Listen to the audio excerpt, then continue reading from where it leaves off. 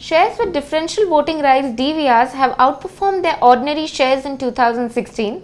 This is for the third consecutive year that the DVR shares of Future Enterprise, Gujarat NRE Coke and Jain Irrigation have churned out better returns as compared to their ordinary shares. While the Future Enterprises DVR shares which are barely trading at any discount to that of their ordinary shares for the year have given return of around 20.19%. This is versus the loss of 15.40% witnessed by the ordinary shares. While Gujarat and RE Coke too has outperformed, the price differential between the DVRs and the ordinary shares is around 8% which is the least since these DVRs have been issued.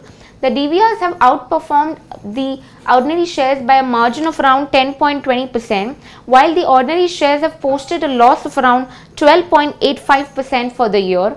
Lastly, we have Jain Irrigation, the price differential of which between the DVRs and the ordinary shares is around 33.71%. Well, the outperformance of DVRs with that of ordinary shares is by a thin margin but nevertheless it's there. The DVRs have outperformed and have given a gain of around 30.64% for the year as compared to the ordinary shares return of around 27.49%.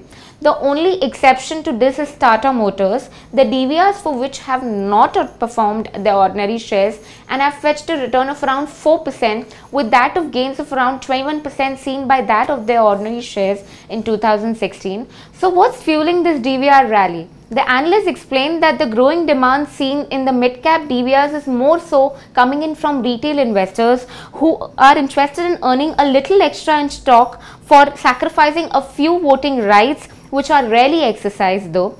On the other hand, the analysts explained that the FII interest in Tata Motors and more so in the voting rights has actually led to a better outperformance of ordinary shares as compared to that of their DVR shares. That's the chart of the day. This is Nikki for Bloomberg Quint.